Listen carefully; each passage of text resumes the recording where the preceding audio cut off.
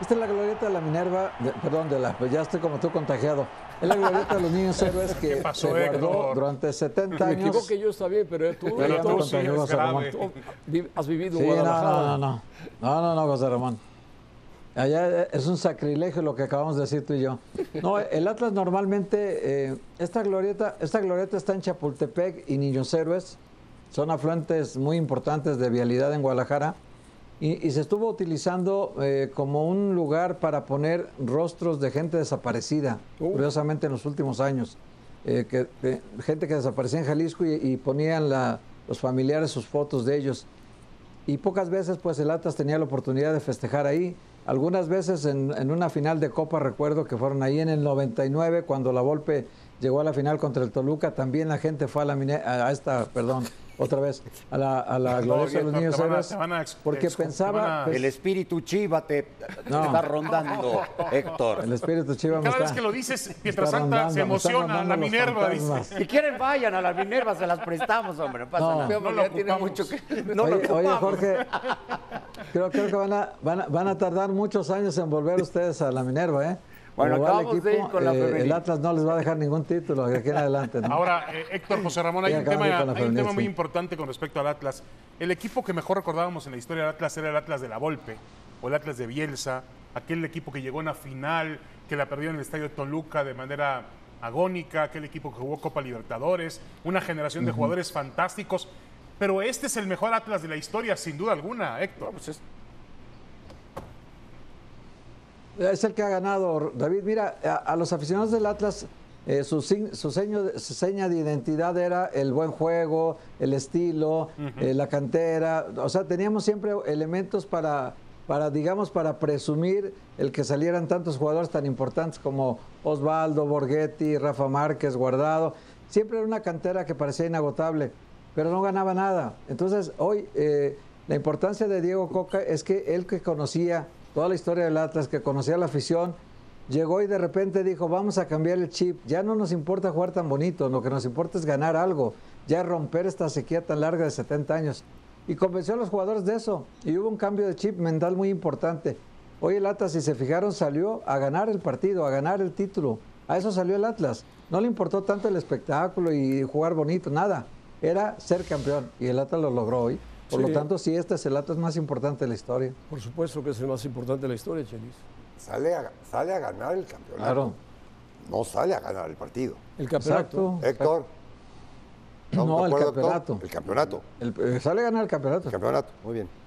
Sí, porque los dos partidos formaban el campeonato, ¿no? Sí, Entonces sí, el sí, Atlas sí, desde sí, el primer sí, partido sí, y sí. ahora salió a ganar el campeonato, claro. Bueno, ya aparece Y los, el, el perdón, Atlas perdón. Y en los la hombres, lista. y los hombres que tiene ahorita son totalmente de otras características Sí. de los, de los, que regularmente de los solía que- tener. de los jugadores de la academia Dif- del Atlas. diferente. Totalmente. Claro, Sí, claro. con otras condiciones que entregan buenos resultados. Y también yo creo que fue el- la continuidad que se le ha dado, ¿no? Mantener una base siempre es importante. El mismo equipo. Sí, salieron dos jugadores que, que en el torneo pasado fueron importantes. Uno es Jesús Angulo, que era parte fundamental en la defensa, y vino Aguilera y cumplió bien. Hay que decirlo. ¿no? Pero usted le dan reconocimiento todo a Diego Coca y a sus futbolistas. Sí. Y el hombre diferente, perdón que lo diga, yo no soy su aficionado, pero lo estoy viendo José Ramón festejando, festejando en el centro de campo de Pachuca con el trofeo, es Alejandro Iragorri. El grupo Orlegui fue el que transformó al Atlas de Guadalajara.